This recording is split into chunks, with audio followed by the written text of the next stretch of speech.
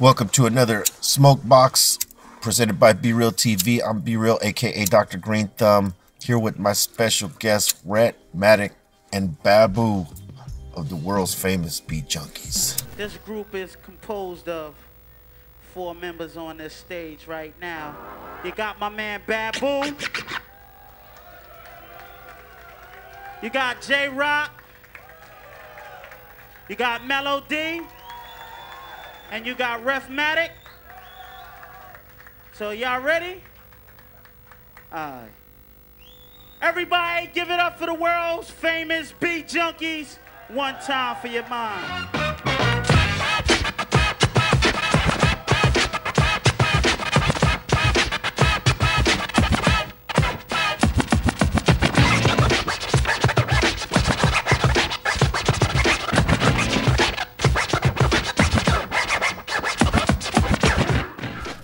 Yo, yo. Yes. Thanks I mean, for having us, B. This is and crazy. you know we got DJ Nels in the back Nels. back there. Um, I gotta tell you like this, right? If you don't know these gentlemen on the West Coast, they are one of the premier DJ crews. What you know, like easily could be considered one of the best. You know what I mean? And I have history with these two gentlemen. You know, uh, much of you guys might know that we had a radio show called Soul Assassins Radio on 92.3 The Beat in Los Angeles once upon a time. Yes. And these two gentlemen, plus DJ Melody, who is not here, um, they were the DJs of that radio show. And it's good to be with uh, both of you guys in this whip. Know what I'm saying? I mean, you guys, you guys, uh, um, it's incredible what you know what you guys have have done throughout your your your careers as DJs. I mean, you both DJ for legendary crews, legendary artists. You stand alone as DJs as some of the most highly respected in the game. I mean, and and you and you took that and brought it as education and created a school or you know are a part of a school that teaches kids how to get down and how to touch it or existing DJs how to touch up their style, man. And I gotta commend you fucking guys on that, man, because that's B. awesome. Thank you, B. Nah, thanks. And uh shoot, congratulate to, to you and everything you've been doing, man. I mean, to be honest with you, I think of being a DJ on the West Coast and you know, Soul Assassins has been like a huge influence on all of us. Yes. And um, you know, you've seen the things that you guys are doing, man. It, it really inspires us. I mean, being here at the compound and being fans of everything you do. You know, Beat Junkies, we're, uh, we're we've been inspired because we're we're also just doing things independently funded as Right. well. Right. Um, doing things that we super passionate about, and uh, and like Kenji was telling us, like we we we're not taking a lot of paychecks on this. It's it's a Right. that's total passion project we're doing from our record pool to the school to our online school, and um, you know, we really enjoy it. But uh, you know, it's it's it's um something we're trying to figure out every day, and uh, we're still just happy to be DJing still, man. Yeah, I mean it's it's it's an art form, you know, that that uh, I think sometimes people from the outside they don't really you know get how you know how much of an art form it actually is from you know doing the vinyl type of sets to you know doing Serato sets, and there is a big sure. difference. For You know what I mean? I think with the vinyl, you know, it shows that your old school prowess and like your ability to work around shit without any of the the help that Serato and the other ones, you know, provide. Right. You know, for for DJs who maybe don't know, you know, the other the, the original aspect of it. For sure. But you know, how, how do you feel like that? Did have you do you feel that the, the technology has made DJing, you know, better, easier, more uh, efficient? Yeah, I, I mean, we love it. We we we support technology, and uh, I, I, it, feels like not that long ago when we didn't have companies making stuff for what we do. You know what I'm saying? From, Right. from the beat making game to the DJ game, we were always makeshifting something to to be what we want. And now nowadays it makes stuff for us, and I love the technology. So, but I think like you have to be responsible with all that power, you Right. know. And so at, at our school, for instance, like if you're in our program, we do um, five. The first five levels are vinyl. Right. You know, we That's teach awesome. them and we teach them how to mix by ear, and they, they learn dexterity because that's that Yeah, what, that's, that's what DJs used to be about. Like That's the foundation. you know, and a lot of days cats are just so heavy handed because of Serato and, and relative mode. Like things don't skip anymore. So Yeah, it and makes it easy. But you know, I, I feel like you know you have that little experience at least of understanding how vinyl works, and then we give them the laptops, and there's this appreciation of like. Right. You know, and then they kind of te- they, they treat the technology as more. It's not. It doesn't become a crutch. It becomes like something that is an extension. You know, you know. And I love Serato. Come on, doubles of everything. B. We got Yeah. doubles of everything. I mean, and see, that's You know? that's the thing I was gonna say is that, uh, you know, Serato allows you like programs like Serato allow you to flip through the sounds and the shit, Right. so you can get to your routine faster. You know what I mean? Whether uh, on the opposite end, if you were doing that vinyl, you would have to be extra fast to flip another record to put that specific sound on. That's that's the cool thing about the sure. techno the, the the technology that has come in that allows a DJ to be a little bit more free because you don't got to worry about flipping that that vinyl. No, and sure. and I mean, as you guys know, because you guys started with vinyl, you don't got to carry all them fucking crates Oh no. and worry about some bastard sticking his hand in your fucking crates. How many records did someone fucking low key try to take from you your guys' crates, dude? no, that was the worst. Traveling with records. Yeah. Yeah. Dude, a lot of that DJs was- with a lot of bad backs if there was no technology. No, I would have a I would have a box of records like for Dilated, for instance. I'd have a box of records that would get checked in in this anvil type case that I would put like a one of them little zip ties on that would always get cut open and someone went through my shit Yeah, that's where you knew. Whatever I had in that box be, I would have the equivalent on my shoulder. I would carry on with playing because God forbid. Yeah, somebody fucking snatch it. And pre least Serato, backup. right? Yeah. Pre Serato, like, dude, we lost our records. You're Yeah. fucked. Like, you know, so yeah, especially with 911, you know, you can't. You before you could used to lock your anvil cases. Now you can't. So, Yeah. So you know, cats would be like, you know, you're checking out, get your get your case from the from the luggage, open it up. It's like, oh man, half my records. I remember hearing Muggs like lost a whole Oh, crate, uh, like just straight, Yeah. just gaffled all his shit at the Oh, airport. Yeah, fuck yeah.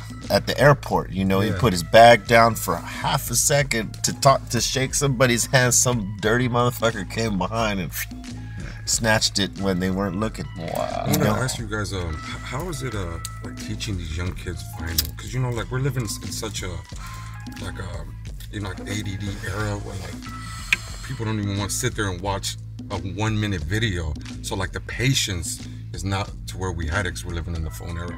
How hard is it to teach these kids vinyl nowadays? You know what's crazy now is before we when we built the curriculum before we opened the school, actually Chalk and I had we argued a lot about like what it was gonna be, how our curriculum was gonna be in terms of vinyl. Chalk was like, man, you gotta understand, Babs. Fools just got laptops. They're gonna want to use them shits in the first month, man. We'll do vinyl for like I don't know, four weeks maybe. You know, and I was like, I'm ripe to teaching. I don't know any different, mind you. You know, Chalk is a veteran Yeah. been teaching for 10 plus years. Um, you know, but I honestly felt like I go, dude, if the beat junkies are open to school chalk, dude, we gotta spend like a big part of the curriculum's on vinyl. And we gotta teach it our way, you know what I mean? And we fought and we fought and we found this middle ground. We said, okay, we'll do the first five levels of vinyl babs, but we gotta be careful, man. We people might walk in here and walk right the fuck out because they wanna learn on they wanna use controllers, they wanna use laptops. And I'm like, but the funny thing that happened was it kind of set us apart. It made us Yeah. unique. It made us Well, special. Well, you know it, what I it- mean? It, like, made it real because Yeah. you guys are, are teaching foundation skills. You know that that allow you to get to that. I mean, sure, you could teach somebody Serato in a fucking second for sure. You know what I'm saying? But like, I think you have a deeper appreciation when you do start learning from vinyl. And I think you know, I, I think one of the things is that when you start as a kid, it's sort you absorb it quicker. I think. You know what I mean? Because Yeah, if you look at some of those little kid DJs now, the, the two girls and the other two girls Mm-hmm. On Serato, they are fucking beasts, right? Right. So I, I can imagine if you teach them on vinyl at an early age, they're gonna beast out even heavier when they get on the Serato and, and all that shit. No, for sure. It- It's a challenging thing, I think, for a lot of people. The new generation's looking for immediate gratification for everything. But I find out our student body really appreciates a challenge. And, and it's something different. And, and Yeah. you guys can all know what I'm saying. To, to mix by ear and not just match waveforms that are going by on the screen like Yeah. Dance Dance Revolution. Like, it's, it's, it's something. And then to, like, literally, you know, you're touching sound and you're dropping a beat on the one. I've got, you know, we have students as young as eight. We have students as old as 50 plus. You know, I'm, I'm watching like low key grandmothers here doing doubles. It's amazing. That's fucking awesome. And we talk about everything's real historic driven. It's techniques, mechanics, and history. So we teach a baby scratch. We talk about, uh, you know, we, we talk about of Theodore. You know what I'm saying? we talk yeah, yeah. about our queuing system and even mixing two turntables, you know, and having a peekaboo system. We talk about Grandmaster Flash heavily. We talk about Jazzy Jeff, and, and Yeah, we try to I tell mean- them the timeline of things. because Flash had the marking system. Yeah, he. I mean, like people don't realize Flash was the fucking god. Like you know, like you know, and I really want the new generation to understand. Like, motherfuckers are going to junkyards and and soldering shit, creating shit. Well, I think that's the problem You today know? is that some of the kids that are getting into some of the art and shit, you know, whatever aspect of it is, don't necessarily they're not necessarily students of the game like people used to be. For sure. It's like they, you know, they want to skip levels and shit like that, which is cool because some some have the natural ability to to skip those levels. Right. But there's others who need to learn where it came from so that they have like an appreciation for it and to cultivate and develop that creativity and talent. I think know, that's to part of being a great, there. right? Is, Yeah. is to is to know your history. I think like you know, Yeah, I, I I, never so. knock a cat for where they're t- dropping the timeline being. Sometimes they go out of order because of things like they're that talented or they Right. they're just gifted. But gosh, they only get better when they go back and, and Right. realize, you know, when, Yes. when Kobe hit that point and you know he was able to talk to Michael and really talk to him and go back down the timeline and understand why they were great. And, Exactly. You know, so I think that goes for everything. You talk to chefs, it's the same thing. You talk to MCs, it's the same I, thing. I think the fact that you guys aren't skipping steps, that you are teaching from the foundation aspect is is amazing. Because that's how you guys learn. Yeah. yes. I mean, you have to learn foundation. I mean, because like again, if you uh, start on Serato, sure. Sure, what happens You when that goes away? right. But Which then- it won't, but But even then, if you don't, if you don't know how to really learn, even how to, you, you don't, have, you can't have build skills. Don't know how to learn how to rock a crowd. Yeah. That's still, still you know, song selection and stuff. Absolutely. And then also like you know, if you're timing, if you don't have timing, also you know, vinyl will help your touch. As Baz would say, when you get onto more controllers and Serato, you just you'll be more. You'll be if you were a good DJ on vinyl, you'll even become a better DJ on Serato. If you're an okay DJ on Serato, you're gonna be terrible, terrible on vinyl. yeah. You know. And, and it's only true. right. I mean, Yeah. because like it's the junkies. Like, I mean, the first time I ever was introduced to the junkies was at Fat, like Fat Beats. You guys were working at Fat Beats back in the day, you know, Vermont. Like, it's only right. I, I, I wouldn't expect anything less, and I don't think anybody else would. Yeah. honestly. L- you know. Now, you guys are some of the most well-rounded DJs, all, all of the crew. I mean, you guys can rock clubs, you can do exhibition style clubs, and, and let me explain the difference. Like, you know, club you go into, some DJs will DJ for themselves, and the guy's standing up against the wall, and the dance floor clears. These guys don't do that. These guys know how to rock a party and keep it there. They also know how to do exhibition style DJ where no one came to dance. They came to watch what the DJ does, right? These guys have done that.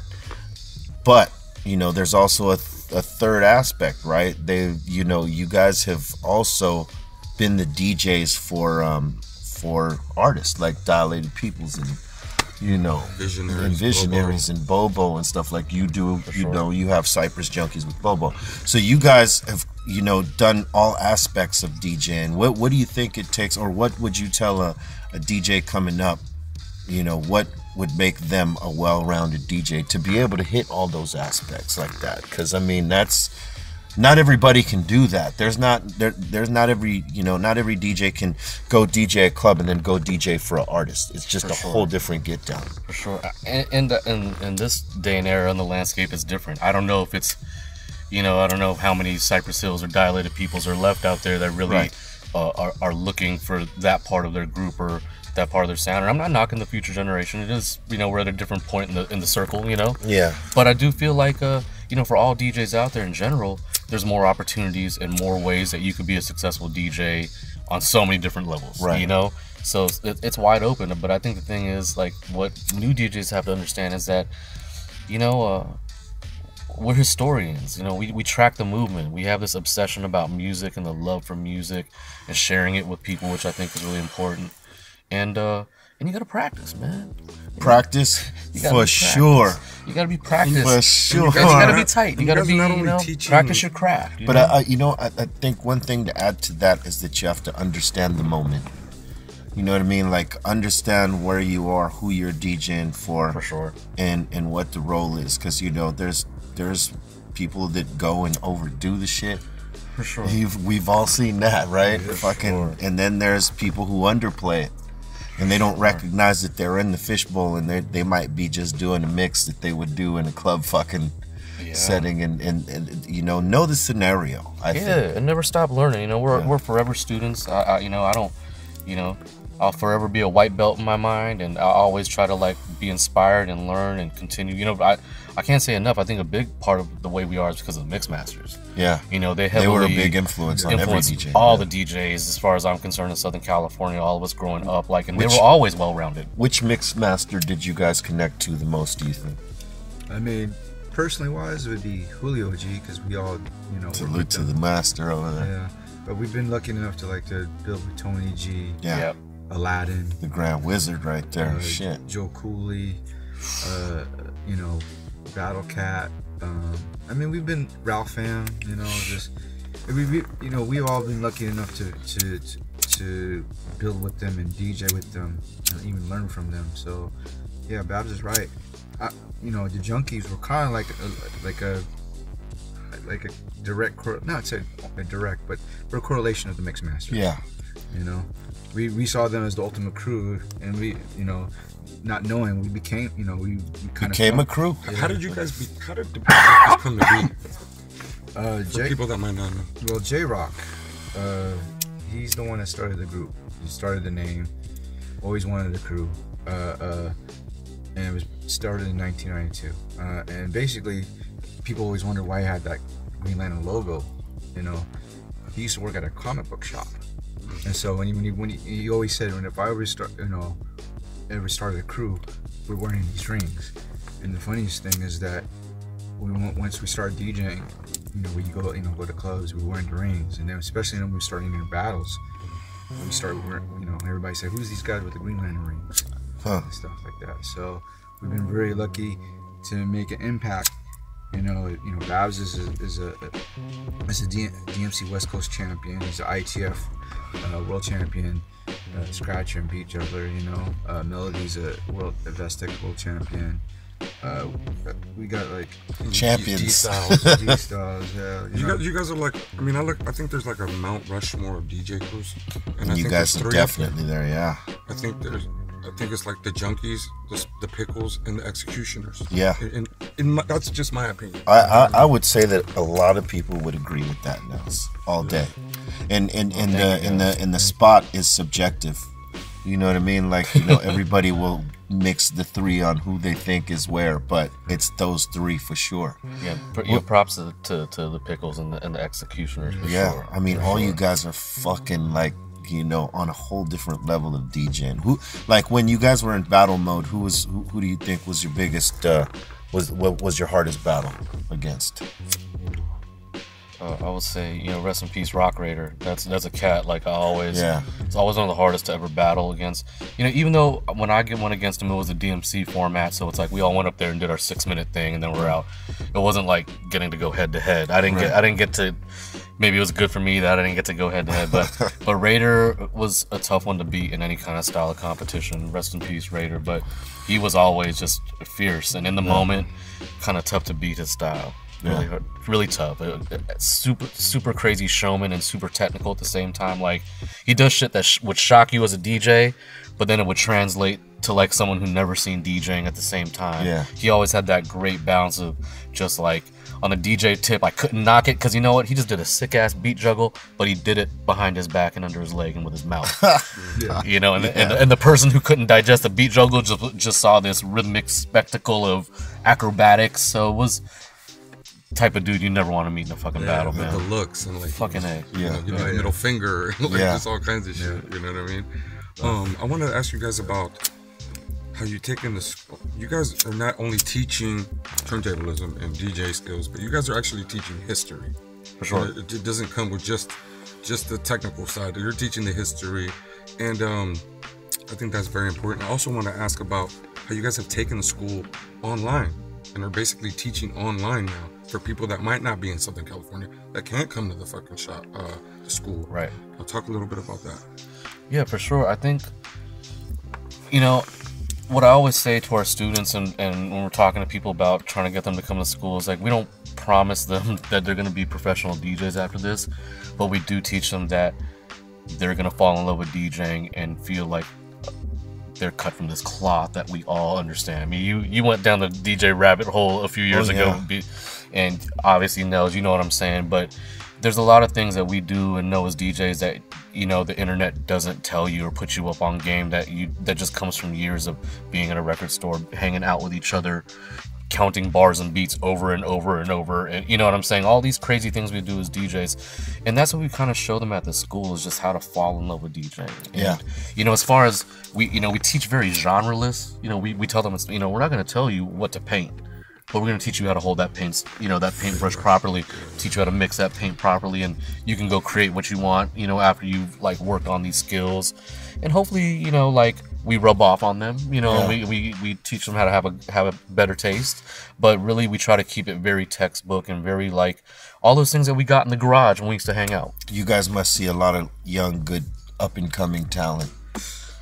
i'm super our, our students are crazy i have this gr- i have this group of kids who are like out of control like um you know What's the youngest DJ you got there? We have eight year olds Fuck. but I have I have this group um, who've been with us for almost two years now, and it's it's three girls and one boy, and they're beasts. They're just so beast. They're they're, they're my most advanced students at school. I'm teaching them like crazy scratches and beat juggles. I can't What I love it. about that is knowing that, that that's happening. The that part of the culture will never die. Turntablism will always be there because I think once you get it, like if, if it's like a passion or or like it's it's something that you know you're an enthusiast and you get into it and you start fucking with it and you get it it opens up a whole Oh, man. different thing for you and and and you'll continue to do it For and uh, I think that's why turntables and the, the the art of turntablism will always fucking really exist beautiful, because of that, and that's No, great sure. because you guys are a part of keeping that going. No, this new generation, I think they're intrigued by it. You know, shouts out to the to the young homies, uh, world champions, uh, DJ Rena and K Swizz. And it's funny, these kids who are the world champions now, I really look at who their influences are. Yeah, And they they look about ten years and and more back. yeah. They're looking at cats like from our generation Yeah. and ones a little after us and like they're looking at the most technical cats. yeah, because that's really where where it all comes from. you know and like the recent styles aren't really what's moving them it was like something from 10 plus years ago and like and, and what it produces them to do it blows my mind so shouts out to the youth that are all into it shouts out to our young students all our students at dj ios How, how much gratitude, like how much like just proud, how proud does it feel to like, you know, when, when you see them start from like, they can't even do nothing. And then like a couple years later, they're like fucking beasts. How does that feel? Must be a lot of, Humbling. yeah, Yeah, must be a lot of like, uh, It's very like a gratitude in that. very I, you know at at first like it was weird when we first had the idea of teaching i wasn't ready and then we instead started our first business this is in 2014 we started the record pool beatjunkies.com because you know we're kind of like trying to figure out what are we gonna do with this brand we built you know and our so our first business was a digital record pool and that was like super cool but even that was kind of funny because you know the school of hip hop we all come from. B. We're like, oh, we're gonna share our music now. Is that is that? What, I remember J Rock. Oh, is that how it goes now? We, we're just gonna open up. We're just gonna open up our crates to people. Uh, Oh, is that is that the game now? You know, and, and, and it was a little bit of an internal like we're like, yeah, and, yeah, there's a transition where you got to like open up a little bit, right? and we were learning and, and and lo and behold i'm glad we took the risk because it actually you know it springboarded it was really amazing for us created a new business for us and a new vision of sharing and you know i think it made me think like dude i think all this keep it real and all our secrets was wrong you know? I mean i'm like i think it's time to share and that's that's Well, what yeah, inspired the school because you know? that's that's like you know you keep people isolated and you don't want to you know teach people shit you know it, th- then it can't go on from there. Like if you put up Sure. the wall and say you know what? Fuck no i'm not gonna teach them shit you can't expect much from them can't complain. You Yeah. can't don't complain. don't complain. Yeah if you ain't gonna teach them don't complain about what they turn into. Yeah, You know and, what I'm and, you know, and that really bums me out. You know, I'll, I'll run into, you know, I'm not gonna say names, but you know, you talk to a cat that who's DJing as long as you, and you know, and you know, some people have, you know, aren't really comfortable still with the ideas of us teaching and giving like giving away the game. you know, and it makes me laugh. You know what I'm saying? I'm, like, Hey. it's it's really not like that. You They know what I'm mad saying? at Like, Bruce Lee for giving away the game. yeah, you know, and, I, and I'm over here. I'm like, fuck that. I'm, I'm gonna pass it down correctly instead of me getting on the internet and whining about how DJing is. You know what? I'm gonna actually like teach it properly because there's still not enough zeros and ones on the internet. YouTube is still not gonna tell you you're you're fucking up. That's you're, right. You're offbeat. Your hand is wrong. That's right. you know, and uh, like They I ain't gonna clean you up yeah, at all. Well, Yeah. you know, it's up to us to share our culture, right? Why is it uh, every Exactly. genres or any other uh, any uh, ethnic cultures or stuff? They always show share everything, and then hip hop is the only one where we just like we don't share, and they always complain. You know, it's crazy how the, the hip hop game is, man. You go from student to teacher. Because you guys are now teachers. You guys, at one point, were obviously students of the game. Now you guys are teachers of the game. Even though we, you know, we put our years in, we keep learning. Yeah, so, yeah, because we have to, because we got to. adapt to, sort of figure out how we teach these this new generation sure. this culture. You know what I mean? If they want to learn, because some of them, you know, they trying to skip levels. They're gonna do what they're gonna do. Yeah. Yeah. They're gonna do what they're gonna do. Hey man, I want to thank y'all for jumping in the box. See. I know you got a class to teach, right? I literally am gonna go teach class. Yeah. literally. Thank Go you. get it, man. Honored to be here. Thank you, man. Two of my No. favorite Hey, dudes two of right the here. best that ever did it. Yes, Really, really real talk. DJ Babu, DJ Rhettmatic. Um, World. let them know about the school, the address for the school. Yeah, so for uh, so for our record pool, check us out at www.beatjunkies.com for our online school. Go to beatjunkies.tv and for our school in Glendale, beatjunkysound.com. And also go on YouTube and check out for our better better building DJs podcast. Building Oh, yeah. better DJs. Yeah, Building yeah. better DJs. Thank Go check sir. out our check out our podcast. Ch- Rhett's talking about. You can catch that on YouTube as well. That's what's up, man. It's been another Smokebox. Leave comments, subscribe to the channel. Fuck with the world famous beat junkies all day. Keep blazing. Got the heart of a lion, soul of a titan, mind of a genius. Fly with the heighten, all your senses is senseless, resistant, relentless. It's what they call you when your grind is endless. Let's get this. They say I'm psycho. I move weight like lipo. Got a big crib like Michael. Out the window with a rifle. My wrist game on light show. I'm backstage with white hoes. I got.